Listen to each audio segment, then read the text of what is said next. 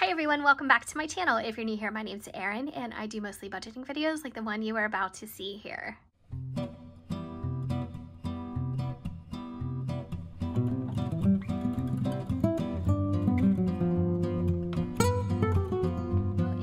About a thunderstorm and I remember this happening last week around this time so um, hopefully it won't be too distracting but I just wanted to mention this now it is going to be a lengthy video because I have a lot of information to put in my budget binder or my budget planner and I have a lot of things that I need to organize so I can get ready for my sinking fund stuffing and my cash envelope stuffing. The reason why I'm keeping these all separate is just in an effort and to save time. Uh, I don't like these to be so long and usually my videos are running um, anywhere in upwards of 20 minutes as it is. So I, I just don't want them to be too lengthy because I think people, you know, can kind of tune out after a while because it gets to be too much.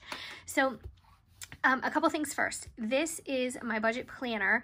I am using a combination of a happy planner with a TUL notebook cover. So I did get some questions about this and I'm really, really sorry. I apologize that I cannot locate the TUL notebook that this cover came with. Um, it is beautiful. It did come in a smaller size too. As you can see, you can, maybe the light will pick up some of the foiling. You can see that there is a whole layer of foiling underneath the cutout, like the laser cut um, design. I absolutely love it. I will keep trying to find this and link it down below. So keep checking back whenever you see this as, you know, being the star of the video. Um, keep checking back in the description and I will do my best to find this. Um, it is really, really pretty. I do have Happy Planner um, rose gold or pink discs on here and I'm backing this up just so I can open it just a bit. Uh, but as you can see, what I'm using in here is the uh, 2018 or no, I, I, apologize, the 18 month 2019-2020 watercolors Big Happy Planner. Um, this is a beautiful planner and I'm so glad in hindsight that I had picked this up. It's absolutely gorgeous. Um, I, I, just absolutely love it. So I'm not gonna do a whole flip through, but this is where I am doing my budget and um, keeping track of everything. So I'm going to flip right now into June.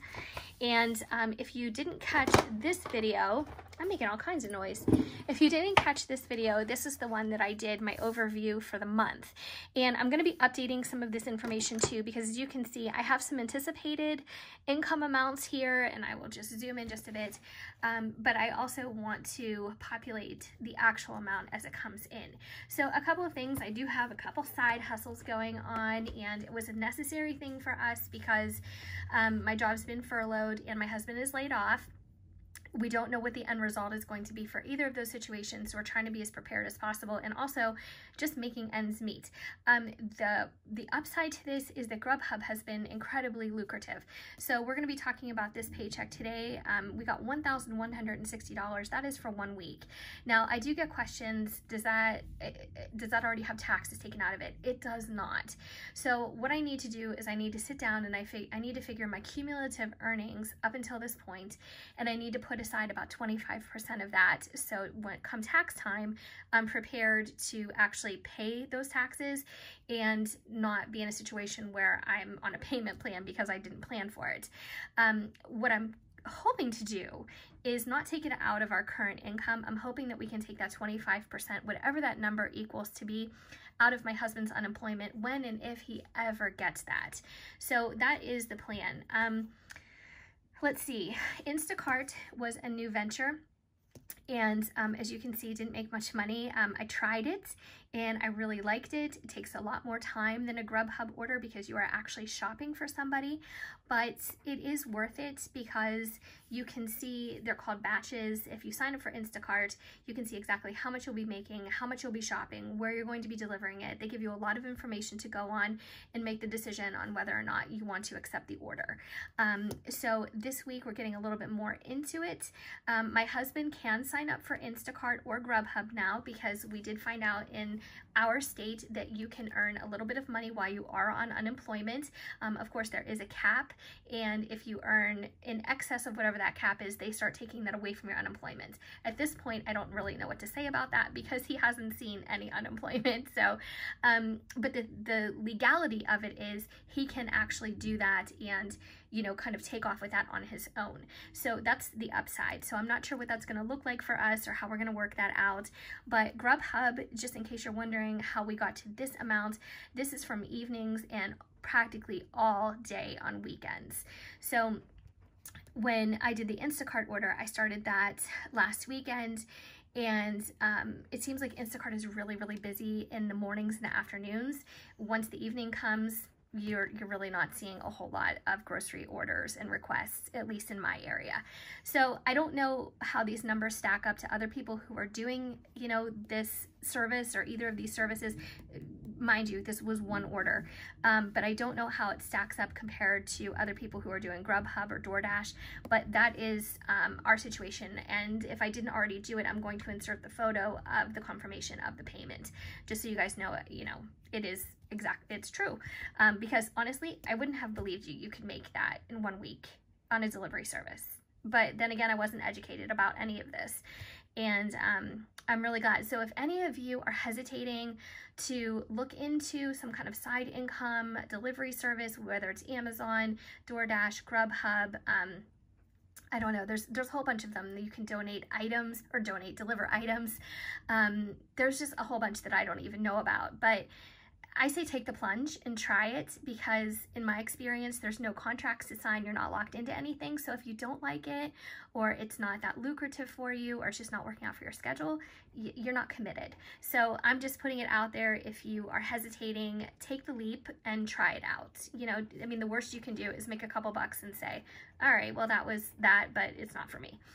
So um, what I'm going to do today is plug in that 116, 116084. All right, I'm gonna plug that in to my payday spread right here. So I'm going to actually refer to last week's because I want it to look the same. And until I get into a habit of doing it, I, I have to refer to what I did last time. Um, so let's see. I have two pages here from May. I, I love this binder system. I keep calling it a binder. I don't know why I can't get that out of my head. I love this planner system. I think that it really lends itself to the way I want to track things. So if we take a look at May's kind of like a, I'm calling it a double payday because, you know, I have Grubhub and then I have my payday in one week. I get paid from my job every two weeks. Um, I was able to put those side by side for reference then also update my sinking funds, my cash envelopes, and then how much I am paying toward June's bills. Now, the reason why I'm not going to be able to fill all that out for today is because I didn't get paid yet for tomorrow.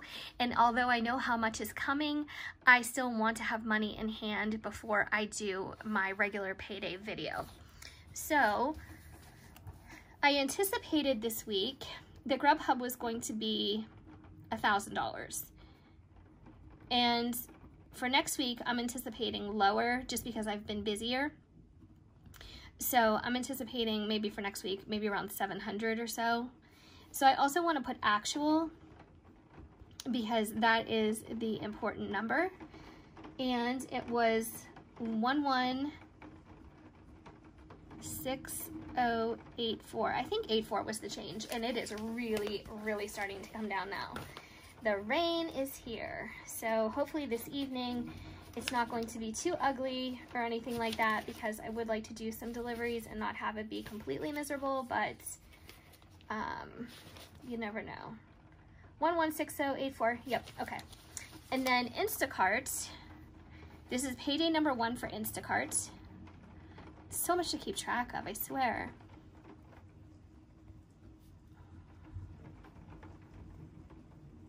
Okay,